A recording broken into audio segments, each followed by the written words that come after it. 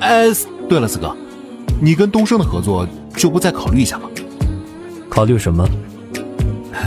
比如说，考虑一下我啊。咣当一声，叉子掉进盘子里的动静。喂，个小东西，能不能安安生生的吃你的早餐啊？大人说话别捣乱啊！萧逸缓缓的看到他脸上，嘴角忽然牵起一丝不怀好意的笑。陆廷秋心里猛地打了个突，他有一种不祥的预感。萧逸转过头就冲厉怀安撒娇：“四爷，不好吃，不想吃。你想吃什么？我什么都不想吃，没有胃口，除非四爷喂我。过来。”说话间，厉怀安将椅子往后边挪了挪，萧逸马上坐到他腿上去。厉怀安从后面环抱着他，将他座位前的早餐拿了过来，切下一小块喂给了他。嗯，好吃。又觉得好吃了？嗯，四爷喂的好吃。萧逸把没皮没脸的本事已经发挥到了极致了。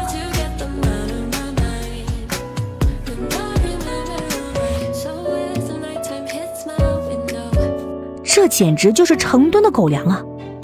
陆廷秋被塞了满嘴，连面前的早餐都觉得不香了。他试图将话题给拉回来。东升最近出了点麻烦，不是我做的，他们被对家给盯上了。要是你再和东升合作的话，万一……四爷，我要吃荷包蛋。萧逸横插一句话进来，轻松的就将陆廷秋的声音给当中拦住了。偏偏厉怀安半句话都没说。也没有要斥责他的意思，还真切了一块荷包蛋喂给他，这宠的上天了呢。还想吃什么？丸子，吃肉丸子。好。李怀安将丸子分成了两半，亲自喂到他嘴里，看得陆廷秋是目瞪口呆。那颗丸子才多大呀？他可是亲眼见过萧逸逸吞过一整颗桃子的人，那嘴巴张的可老大了。这怎么还怕他噎着？一顿早饭是被秀了一脸的恩爱，但凡是陆廷秋要说的公事，绝对会被那个小东西给打断。他算是明白了，他就是故意的。这小丫头报复心还挺重的。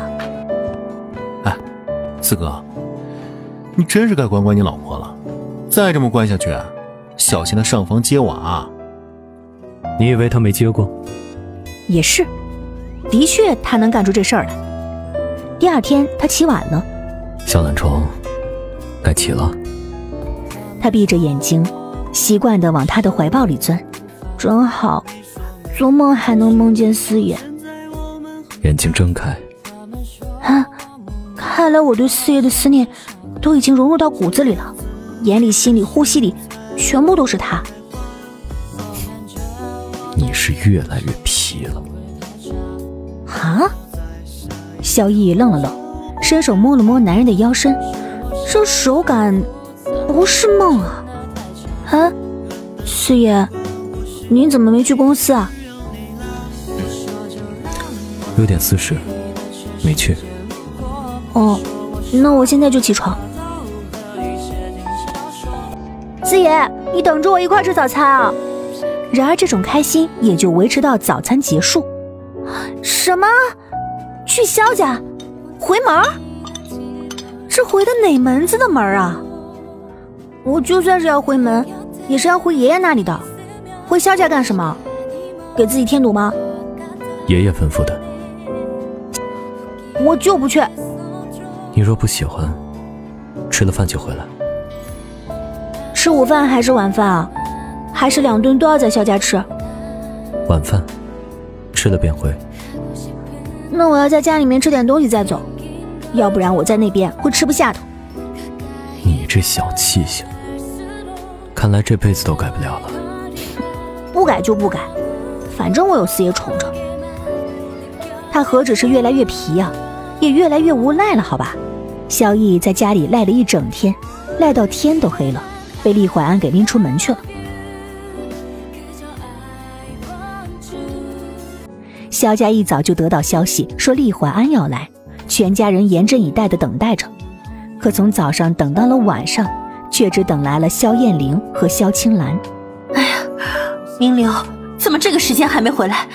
是不是路上出了什么意外？能出什么意外？呃呃，我我是说，我怕我说了你会不高兴。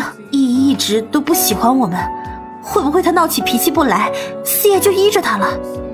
老爷子亲自吩咐的，就算是厉怀安，也必须给几分面子。说来也够了憋屈的，他这个老丈人却从来不被女婿尊重，不，平时连见个面都难，何来什么尊重不尊重的？以他的身份，要去盛景见厉怀安都得预约。这次回门是个机会，能够近距离的谈话，说什么他也要使这个老丈人的权利。不管怎么说，合作得拿下几个。哼，来了来了，姐夫来了。两辆黑色轿车缓缓从大门口开进来，前面的那辆轿车下来的是四爷身边的红人薄暮，他将后座的车门打开，等着四爷和夫人出来。后面的车上堆了满满一车的礼物。来了。楼上听见动静的萧艳玲从房间里面出来了。我处理了些公事，没听到你们来。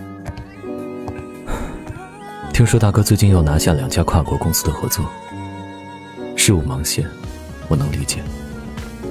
和你比起来，还差得远。盛景旗下的美妆品牌一直没有找到合作商，大哥有意向的话，不如谈谈。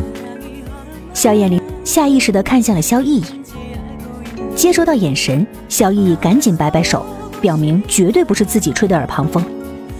嗯，能和盛景合作固然是好。你给我开个后门，我总不能真就靠后门拿合作，该有的程序一样也不能少。自然。焦明流心头好像哽了一口老血。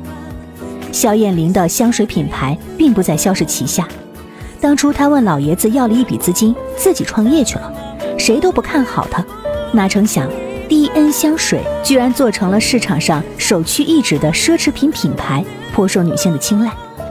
然而，他的公司从法人到控股，甚至到总裁，都把控在他一人手中。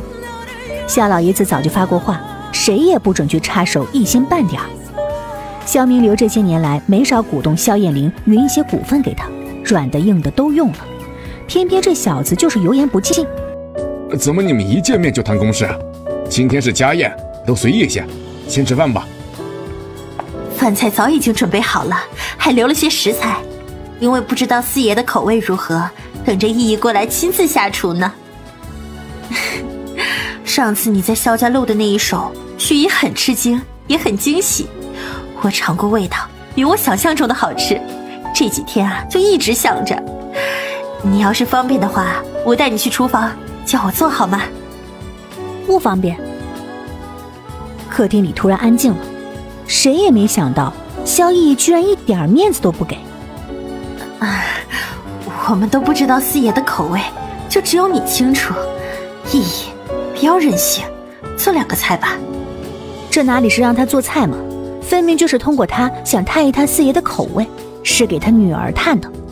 到现在都没有看到萧芷晴，没道理厉怀安来了他都不出现，必定是憋着大招准备惊艳出场呢。我不会做菜。你怎么不会呢？手艺可比我好多了。